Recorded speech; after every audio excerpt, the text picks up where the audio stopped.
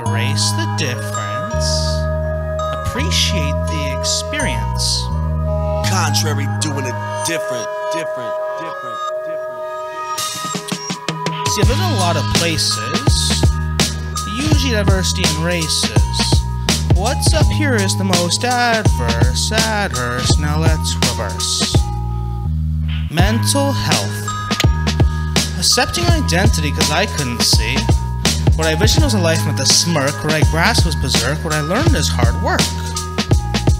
I often state litanies. Most people say it's because of my disabilities.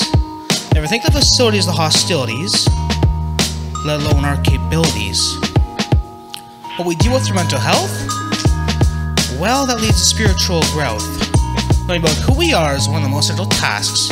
It displays us with repertoire where there's need for masks. At 13, I was diagnosed. This led to a lot of self debate. What am I at my innermost? And you should truly decide my fate. The more I happen to grow, I made a number of accomplishments. I never really chose to slow, but instead refrained to astonishment. I have potential. See, now that's what stuck with me. Inconsequential. Or so says my anxiety. See, addiction became second nature. If this caused happiness, what's up with the legislature? This abuse and encourage, I'm stuck in a spiral.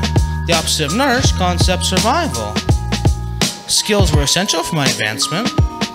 With mindfulness, I let myself out of an entrapment. When my substance abuse ended, I learned purpose and meaning. So I chose to refuse, I can understand the feeling. This provides with a chance. A stronger one than ever before. Snapped out of a long lasted trance. And now I know it's deep inside my core.